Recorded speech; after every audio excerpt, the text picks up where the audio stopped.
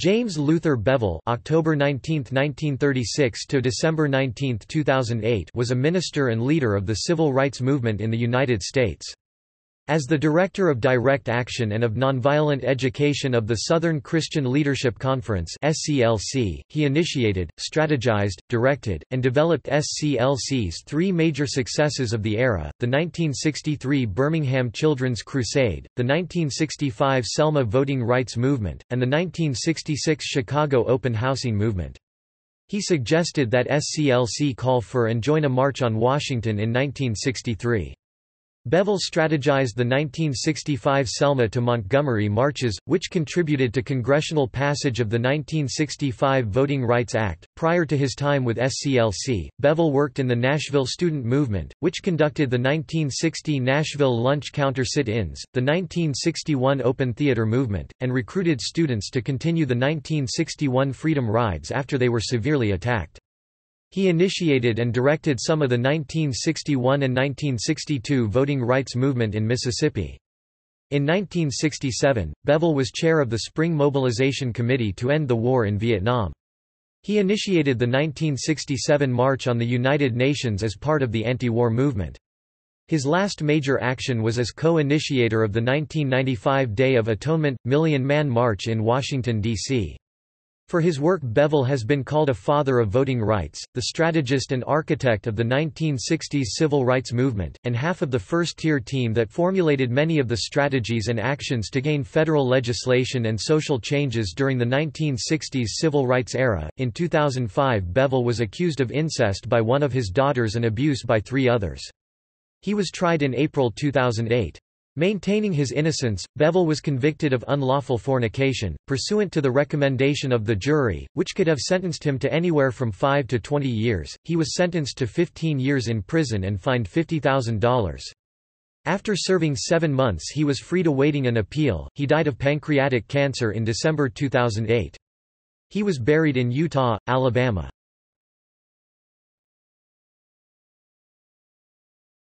Topic: Early life and education Bevel was born in 1936 in Itta Bena, Mississippi, the son of Illy and Dennis Bevel. He was one of 17 children. He grew up in rural Leflore County of the Mississippi Delta and in Cleveland. He worked on a cotton plantation for a time as a youth and later in a steel mill. He was educated at segregated local schools in Mississippi and in Cleveland, Ohio. After high school he served in the U.S. Navy for a time and seemed headed for a career as a singer, called in a different direction. He attended the American Baptist Theological Seminary in Nashville, Tennessee, from 1957 to 1961, becoming a Baptist preacher. He also joined the Southern Christian Leadership Conference. While at seminary, he reread Leo Tolstoy's The Kingdom of God is Within You, which had earlier inspired his decision to leave the military. Bevel also read several of Mohandas Gandhi's books and newspapers while taking off-campus workshops on Gandhi's philosophy and nonviolent techniques taught by James Lawson of the Southern Christian Leadership Conference. Bevel also attended workshops at the Highlander Folk School taught by its founder, Myles Horton, who emphasized grassroots organizing.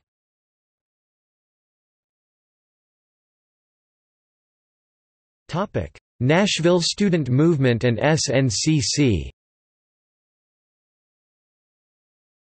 In 1960, along with Lawson's and Horton's students including Bernard Lafayette, John Lewis, Diane Nash and others, Bevel participated in the Nashville sit-in movement to desegregate the city's lunch counters and got to know many student leaders.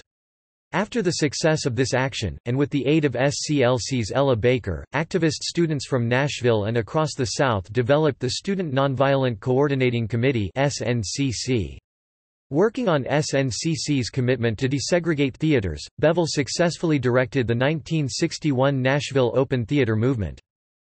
At the time the open theater movement had success in Nashville, this was the only city in the country where activists had organized such an action. In this same period, the Congress of Racial Equality organized the 1961 Freedom Rides through the Deep South to challenge Southern state laws and practices that segregated interstate buses and their facilities despite federal laws for equal treatment. After buses and riders were severely attacked, including a firebombing of a bus and beatings with police complicity in Birmingham, Alabama, CORE suspended the rides.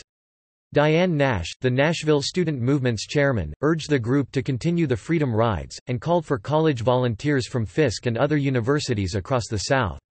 Bevel selected the student teams for the buses. He and the others were arrested after they arrived in Jackson, Mississippi and tried to desegregate the waiting rooms in the bus terminal. Eventually the Freedom Riders reached their goal of New Orleans, Louisiana, generating nationwide coverage of the violence to maintain Jim Crow and white supremacy in the South.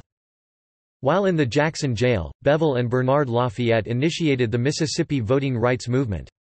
They, Nash, and others stayed in Mississippi to work on grassroots organizing.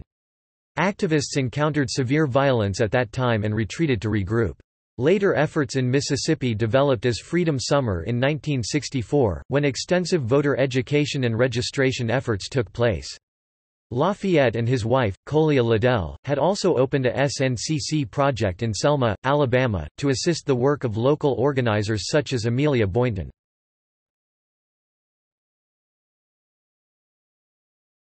Topic 1962 Bevel-King Agreement In 1962, Bevel was invited to meet in Atlanta with Martin Luther King, Jr., a minister who was head of the SCLC. At that meeting, which had been suggested by James Lawson, Bevel and King agreed to work together on an equal basis, with neither having veto power over the other, on projects under the auspices of the Southern Christian Leadership Conference. They agreed to work until they had ended segregation, obtained voting rights, and ensured that all American children had a quality education. They agreed to continue until they had achieved these goals, and to ask for funding from the SCLC only if the group was involved in organizing a movement. Bevel soon became SCLC's Director of Direct Action and Director of Nonviolent Education to augment King's positions as SCLC's chairman and spokesperson.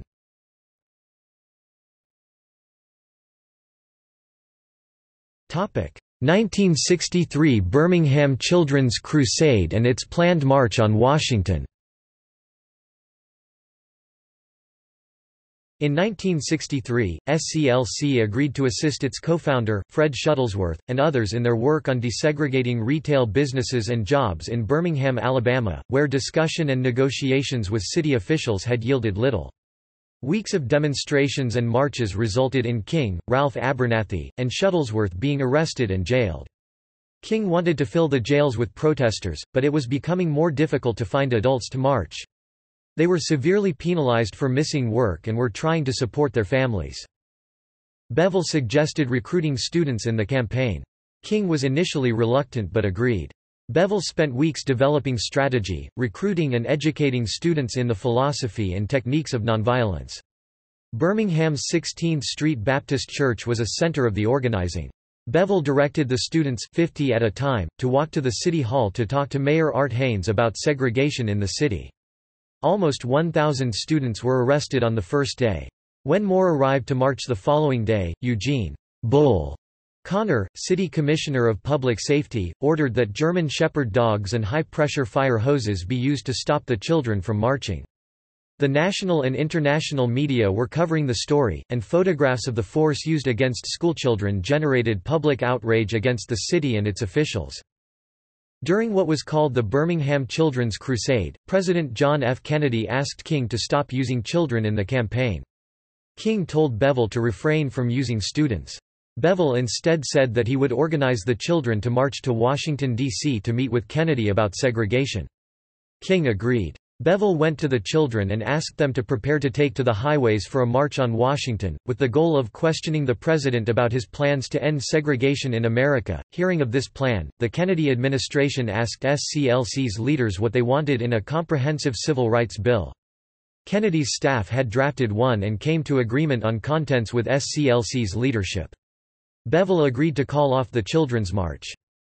In August 1963, SCLC participated in what has become known as the March on Washington, an event organized by labor leader A. Philip Randolph and Bayard Rustin. They had planned the 1941 March on Washington movement to put pressure on President Franklin D. Roosevelt for legislation to enable African Americans to participate in jobs in the booming defense industry as the United States geared up to enter World War II. Roosevelt had signed the Fair Employment Act to require defense contractors to integrate their workforces.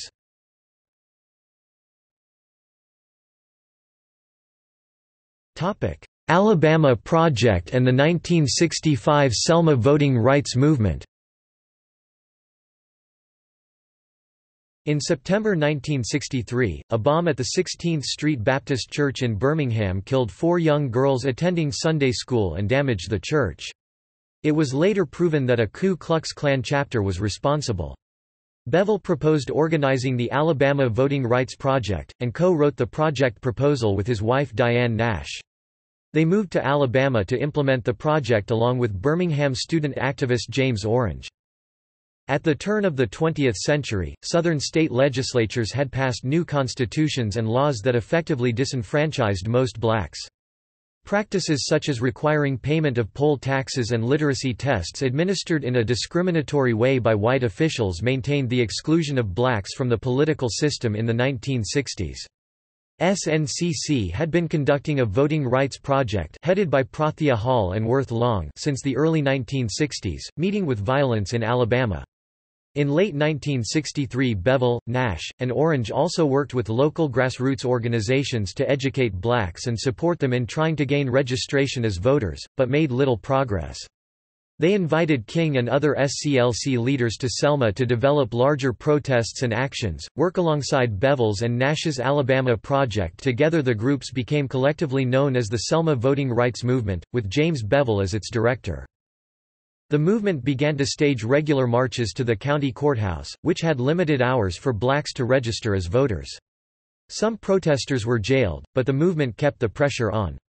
On February 16, 1965, Jimmy Lee Jackson, his mother, and grandfather took part in a nighttime march led by C. T. Vivian to protest the related jailing of activist James Orange in Marion, Alabama. The street lights were turned off by Alabama state troopers who attacked the protesters.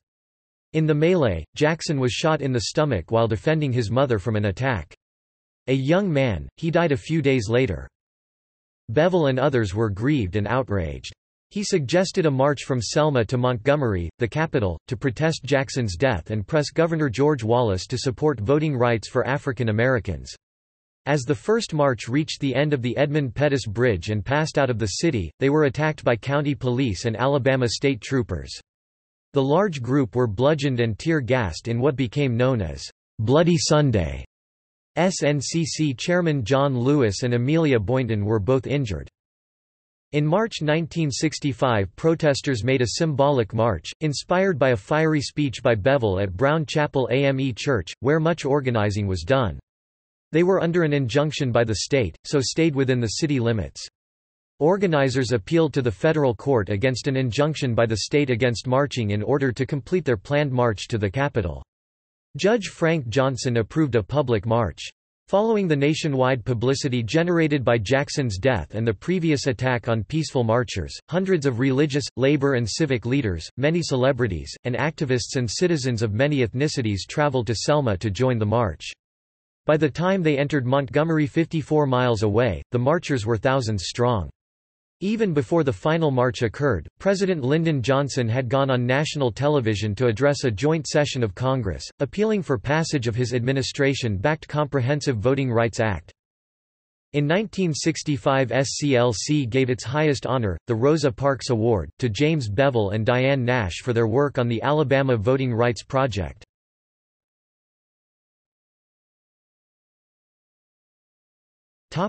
1966 Chicago Open Housing Movement and the Anti-Vietnam War Movement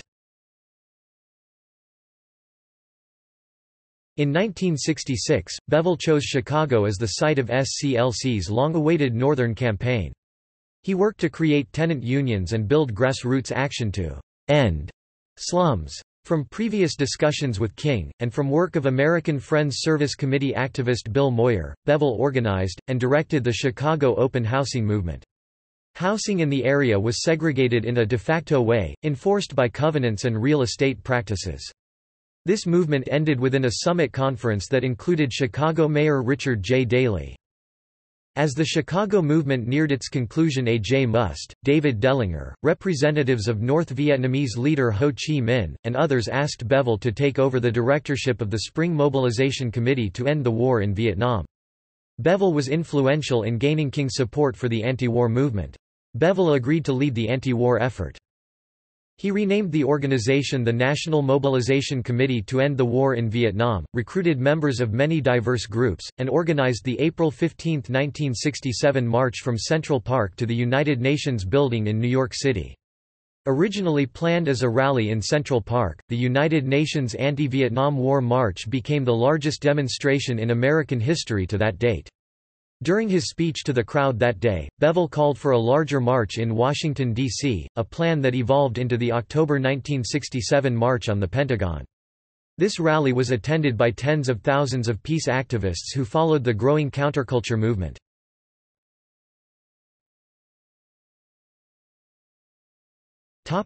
Martin Luther King's assassination Bevel witnessed King's assassination on April 4, 1968, in Memphis, Tennessee. He reminded SCLC's executive board and staff that evening that King had left marching orders that, if anything should happen to him, he intended for Ralph Abernathy to take his place as SCLC's chairman. Bevel opposed SCLC's next action, the 1968 Poor People's Campaign, but served as its director of nonviolent education. Some time after that, he left the SCLC. His behavior was reported as bizarre at times.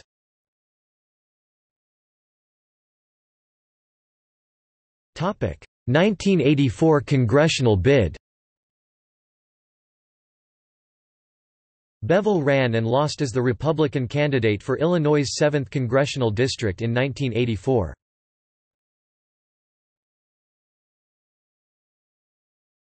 Topic: Working with Moon and LaRouche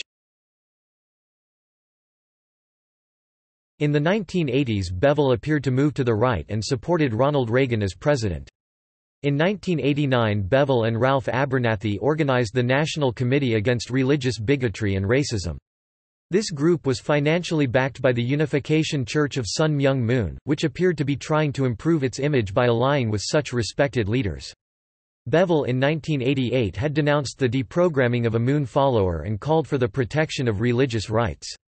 He became more deeply involved in Moon's work, which was considered a controversial fringe group. Bevel moved to Omaha, Nebraska, in November 1990 as the leader of the Citizens Fact-Finding Commission to investigate human rights violations of children in Nebraska, a group organized by the Schiller Institute. This group was associated with conspiracy theorist Lyndon LaRouche, an economist. It sought to persuade the state legislature to reopen its two-year investigation into the Franklin child prostitution ring allegations.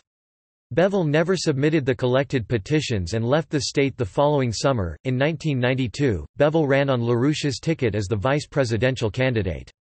At the time, he was living and working in Leesburg, Virginia, near LaRouche's headquarters. LaRouche, characterized as a perennial candidate, was serving a prison sentence for mail fraud and tax evasion. He engaged in LaRouche seminars on issues including, Is the Anti-Defamation League the new KKK? When Bevel introduced LaRouche at a convention of the 1996 National African American Leadership Summit, both men were booed off the stage. A fight broke out between LaRouche supporters and black nationalists.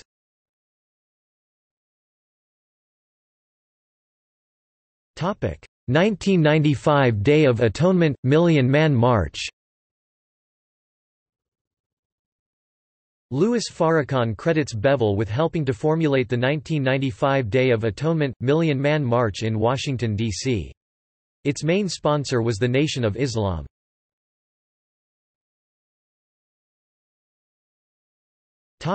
Marriage and family Bevel was married in 1961 to activist Diane Nash after he completed his seminary studies. They worked together on civil rights, and had a daughter and son together. They divorced after seven years. Bevel married three other women in the following decades. In total he had 16 children, born by his wives and three other women.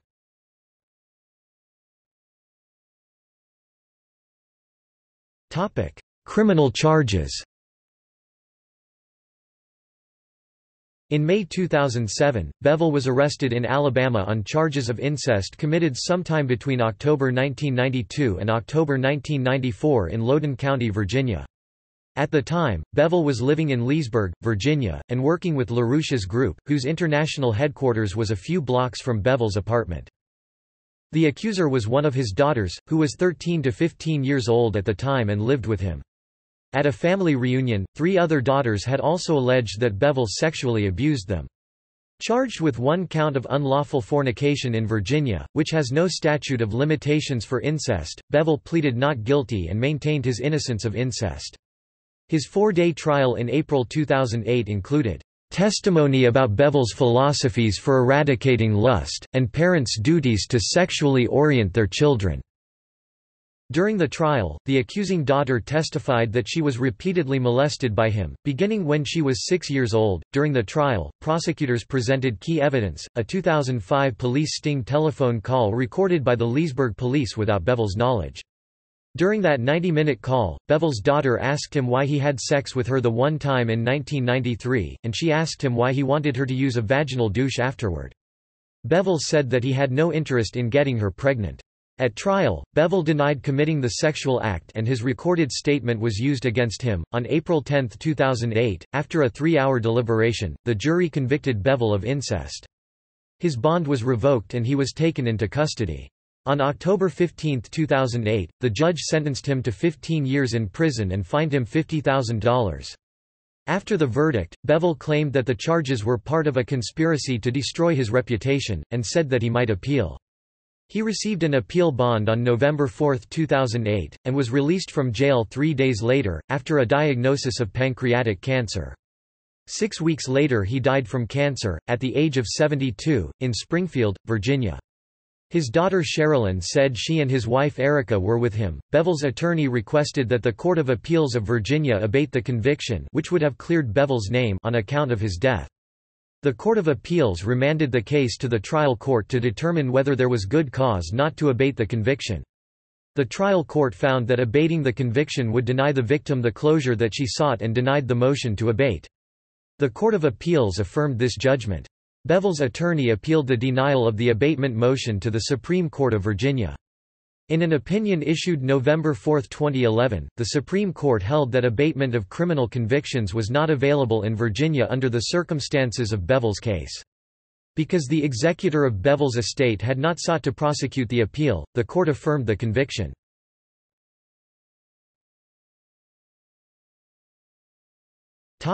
In popular culture Actor and rapper Common portrays Bevel in the 2014 film Selma.